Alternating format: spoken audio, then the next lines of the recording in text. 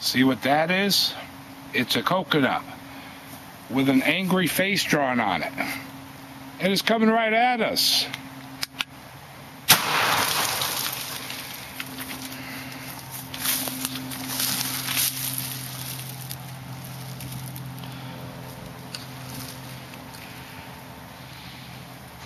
That smells so tropical.